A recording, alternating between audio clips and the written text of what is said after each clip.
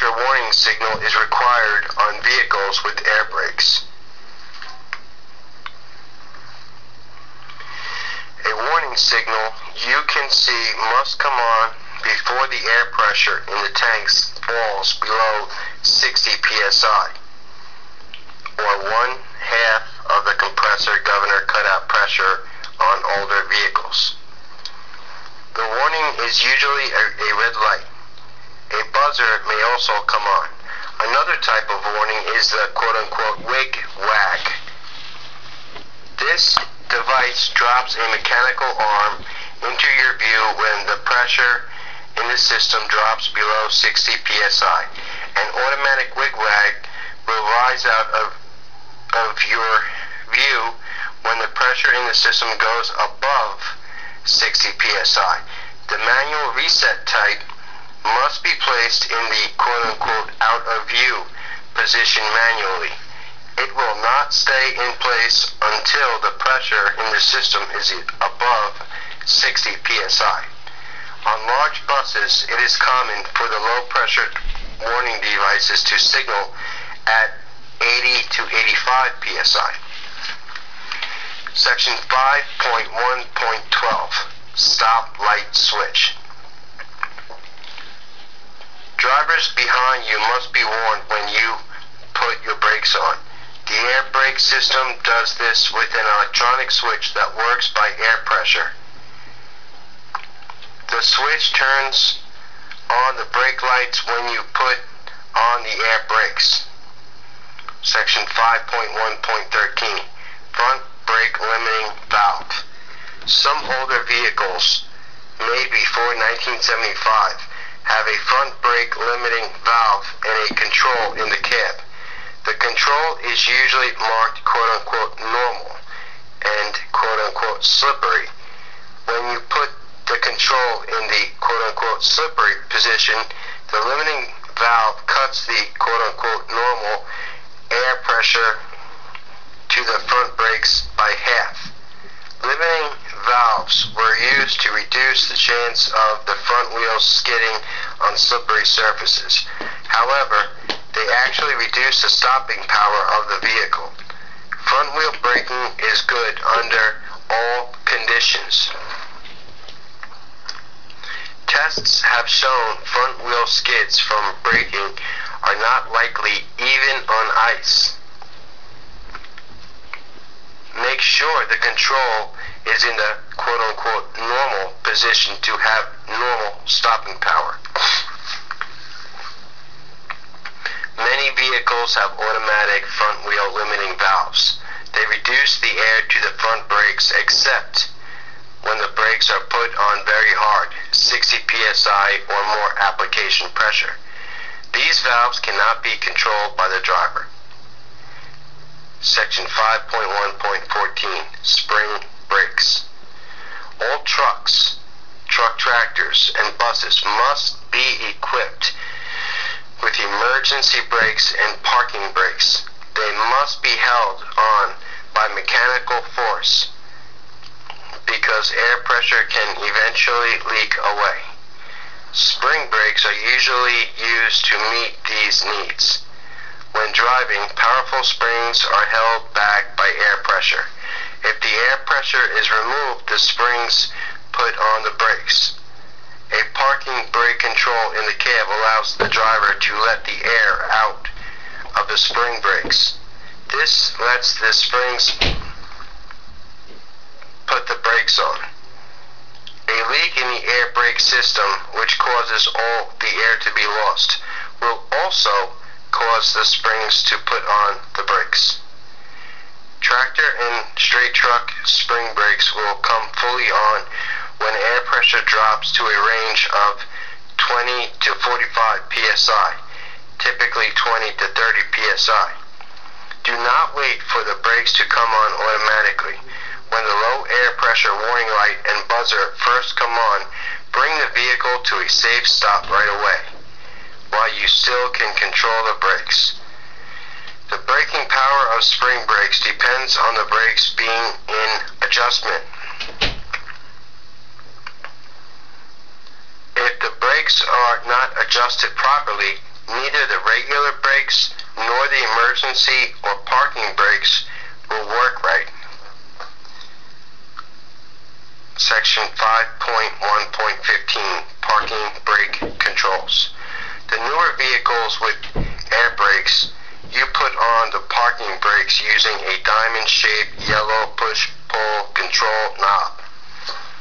You pull the knob out to put the parking brakes, spring brakes, on and push it in to release them. On older vehicles, the parking brakes may be controlled by a lever. Use the parking brakes whenever you park. Caution. Never push the brake pedal down when the spring brakes are on. If you do, the brakes could be damaged by the combined forces of the springs and the air pressure. Many brake systems are designed so this will not happen, but not all systems are set up that way, and those that are may not always work. It is much better to develop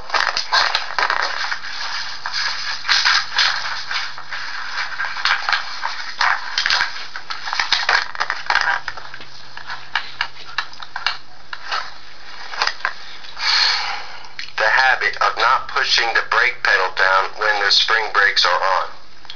Modulating control valves. In some vehicles, a control handle on the dashboard may be used to apply the spring brakes gradually. This is called a modulating valve. It is spring loaded, so you have a feel for the braking action.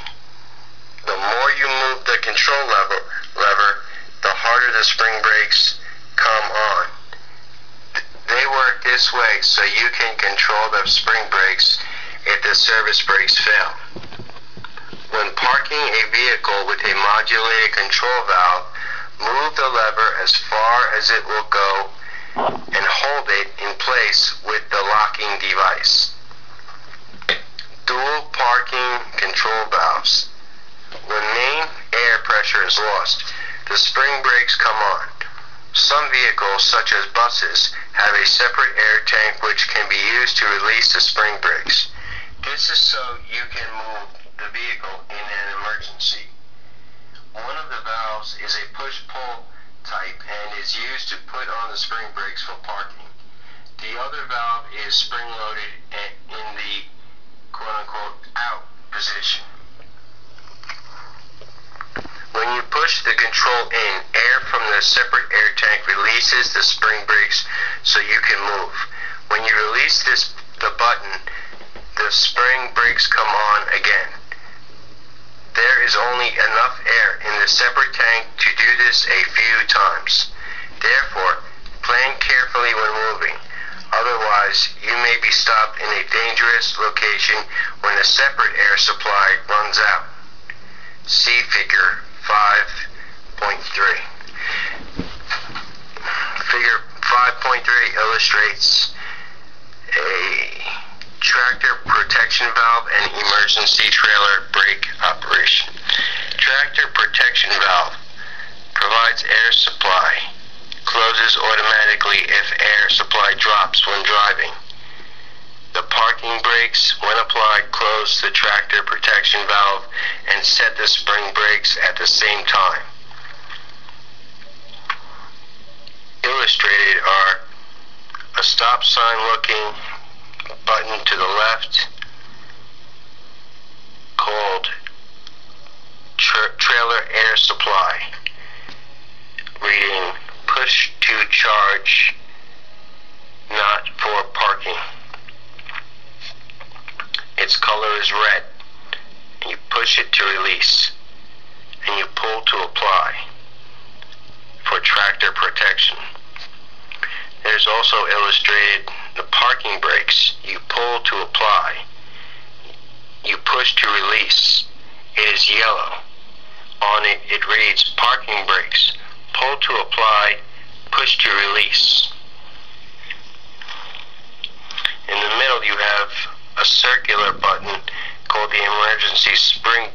case, to apply, brakes release, pull to apply, push to hold, and it's blue, push to hold.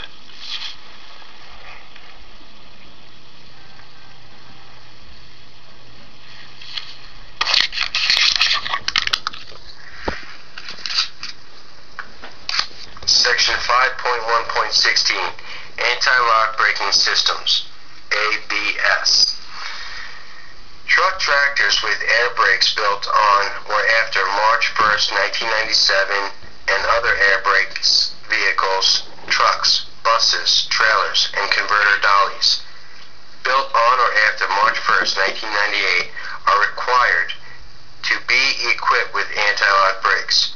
Many commercial vehicles built before these dates have been voluntarily equipped with ABS. Check the certification label for the date of manufacture to determine if your vehicle is equipped with ABS. ABS is a computerized system that keeps your wheels from locking up during hard brake applications. Vehicles with ABS have yellow malfunction lamps to tell you if something isn't working. Tractors, trucks, and buses will have yellow ABS malfunction lamps on the instrument panel. Trailers will have yellow ABS malfunction lamps on the left side, either on the front or rear corner. Dollies manufactured on or after March 1st, 1998 are required to have a lamp on the left side.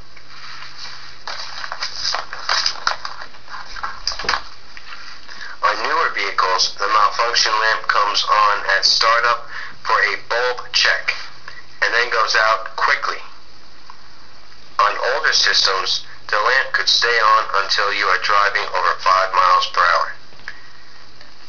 If the lamp stays on after the bulb check or goes on once you are underway, you may have lost ABS control at one or more wheels. In the case of towed units manufactured before it was required by the Department of Transportation, it may be difficult to tell if the unit is equipped with ABS. Look under the vehicle for the Electronic Control Unit, ECU, and wheel speed sensor wires coming from the back of the brakes. ABS is an addition to your normal brakes. It does not decrease or increase your normal braking capability. ABS only activates when wheels are about to lock up. ABS does not necessarily shorten your stopping distance, but it does help you keep the vehicle under control during hard braking.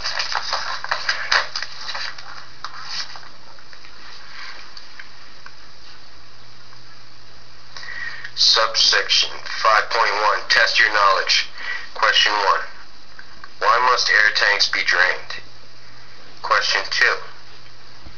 What is a supply pressure gauge used for? Question 3. All vehicles with air brakes must have a low air pressure warning signal. True or false? Question 4. What are spring brakes? Question 5. Front wheel brakes are good under all conditions. True or false? Question 6. How do you know if your vehicle is equipped with anti-lock brakes? These questions may be on your test. If you can't answer them all, reread subsection 5.1. 5.2. 2. Dual air brake.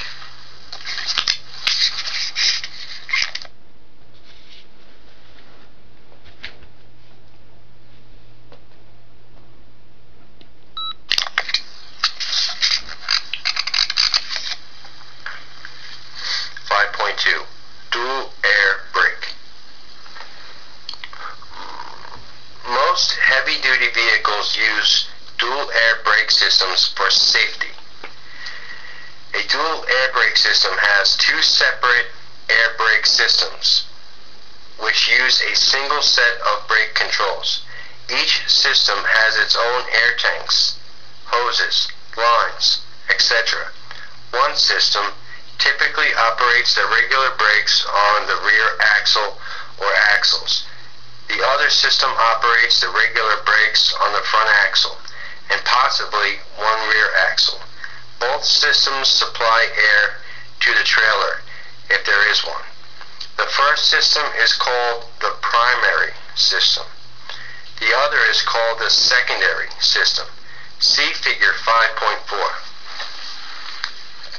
Figure 5.4 illustrates air brake system components and location. Single circuit system.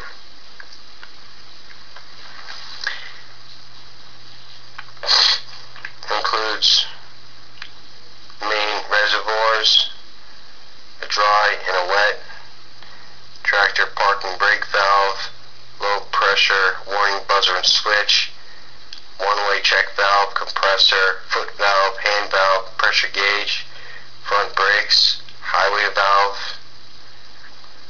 tractor valve, and then for the trailer, oh, parking brake and emergency brake valve, yellow, and then for the trailer, quick release valve, trailer brake chambers, trailer reservoir, emergency relay valve, emergency glad hands, tractor protection valve.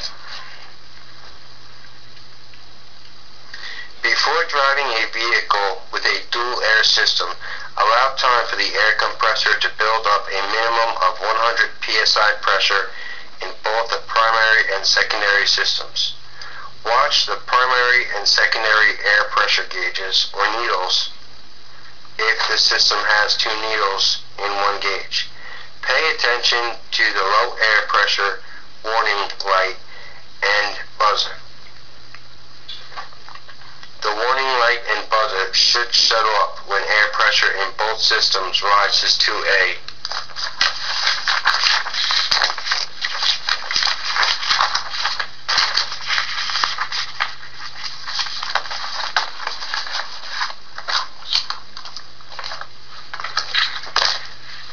value set by the manufacturer. This value must be greater than 60 psi. The warning light and buzzer should come on before the air pressure drops below 60 psi in either system. If this happens while driving, you should stop right away and safely park your vehicle. If one air system is very low on pressure, either the front or the rear brakes will not be operating fully. This means it will take you longer to stop. Bring the vehicle to a safe stop and have the air brake system fixed. Section 5.3 Inspecting Air Brake Systems. You should use the basic seven-step inspection procedure described in Section 2 and inspect your vehicle. There are more things to inspect on a vehicle with air brakes than one without them. These things are discussed below in the order they fit into the seven-step method. Section 5.3.1 During the two engine compartment checks. Check air compressor drive belt if compressor is belt driven. If the air compressor is belt driven, check the condition and tightness of the belt. It should be in good condition. Section 5.3.2 during step 5 walk around inspection. Check slack adjusters on S-cam brakes. Park on level ground and chock the wheels to prevent the vehicle from moving. Release the parking brakes so you can move the slack adjusters. Use gloves and pull hard on each slack adjuster that you can reach. If a slack adjuster moves more than about one inch where the push rod attaches to it, it probably needs adjustment. Adjust it or have it adjusted. Vehicles with too much brake slack can be very hard to stop. Out of adjustment brakes are the most common problem found in roadside inspections. Be safe. Check the slack adjusters. All vehicles built since 1994 have automatic slack adjusters. Even though automatic slack adjusters adjust themselves during full brake applications, they must be checked. Automatic adjusters should not have to be manually adjusted except when performing maintenance on the brakes and during installation of the slack adjusters. In a vehicle equipped with automatic adjusters. When the pushrod stroke exceeds the legal brake adjustment limit, it is an indication that a mechanical problem exists in the adjuster itself, a problem with the related foundation brake components, or that the adjuster was improperly installed. The manual adjustment of an automatic adjuster to bring a brake pushrod stroke within legal limits is generally masking a mechanical problem and is not fixing it. Further, routine adjustment of most automatic adjusters will likely result in premature wear of the adjuster itself. It is recommended that when brakes equipped with automatic adjusters are found to be out of adjustment, the driver take the vehicle to a repair facility as soon as possible to have the problem corrected. The manual adjust, adjustment of an automatic adjuster should only be used as a temporary measure to correct the adjustment in an emergency situation, as it is likely the brake will soon be back out of adjustment since this procedure usually does not fix the underlying adjustment problem. Note, automatic slack adjusters are made by different manufacturers and do not all operate the same. Therefore, the specific manufacturer service manual should be consulted prior to troubleshooting a brake adjustment problem. Check brake drums or discs, linings, and hoses. Brake drums or discs must not have cracks longer than one half the width of the friction area. Linings, friction material, must not be loose or soaked with oil or grease. They must not be dangerously thin. Mechanical parts must be in place, not broken or missing. Check the air hoses connected to the brake chambers to make sure they aren't cut or worn due to rubbing. Step 7. 5, section 5.3.3. Step 7. Final air brake check. Do the following checks instead of the hydraulic brake check shown in section 2, step 7. Check brake system. Test low pressure warning signal.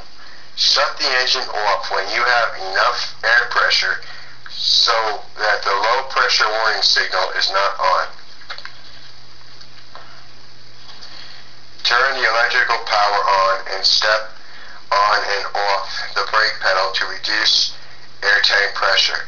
The low air pressure warning signal must come on before the air pressure drops to less than 60 psi in the air tank or tank with the lowest air pressure in dual air systems. See figure 5.5. Figure 5.5 illustrates low air pressure warning devices. With uh, dash lights, including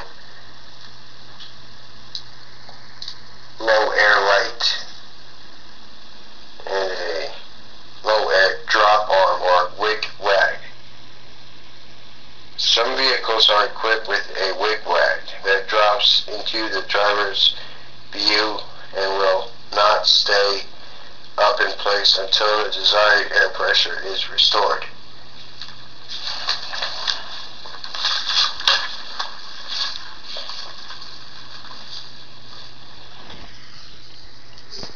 If the warning signal doesn't work, you can lose air pressure and you would not know it. This could cause sudden emergency braking in a single circuit air system.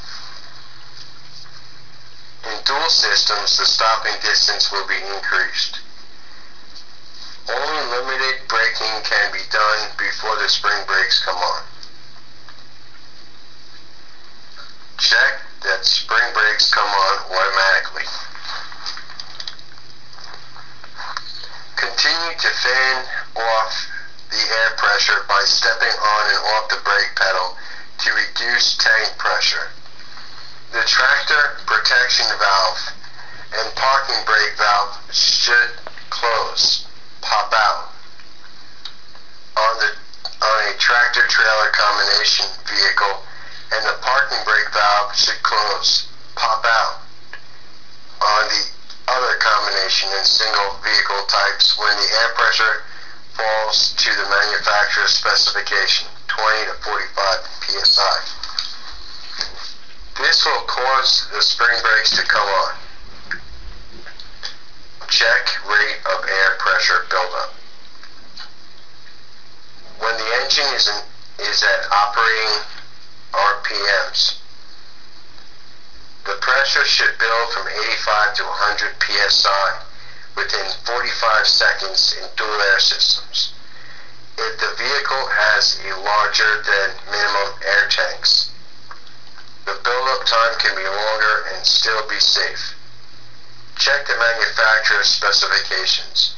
In single air systems pre-1975, typical requirements are pressure buildup from 50 to 90 psi within 30 minutes of the engine at an idle speed of 600 to 900 RPMs.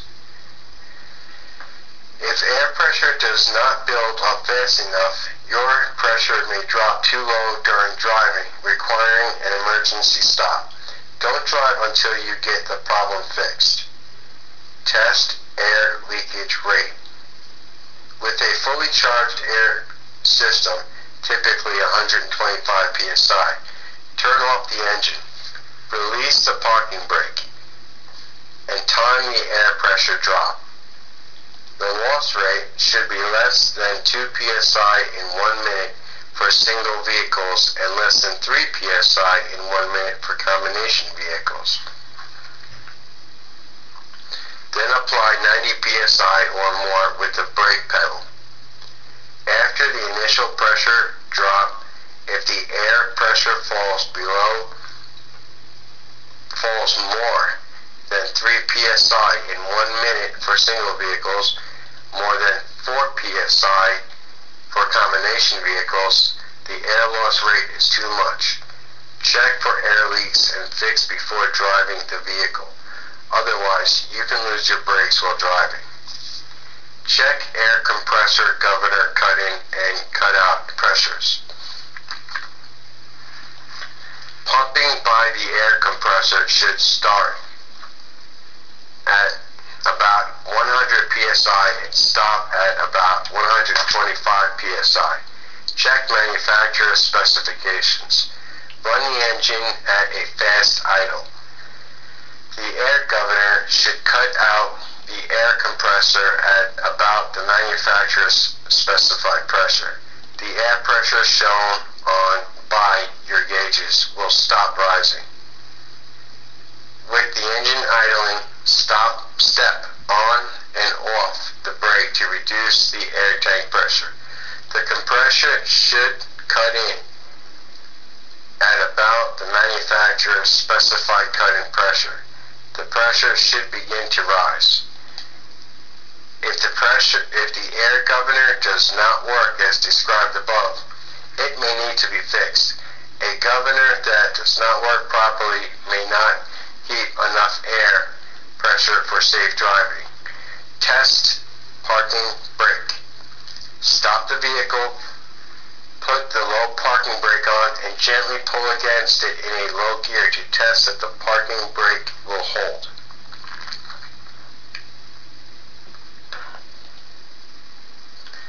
Test service brakes.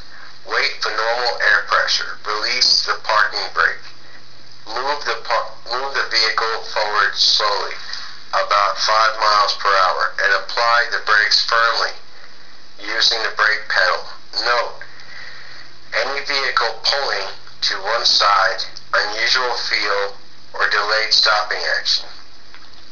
This test may show you problems which you otherwise wouldn't know about until you needed the brakes on the road.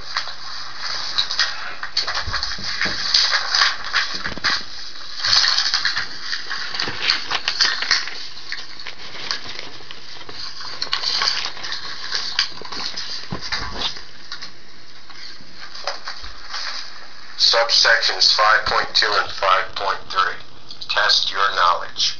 Question 1. What is a dual air brake system? Question 2. What are the slack adjusters? Question 3. How can you check slack adjusters? Question 4.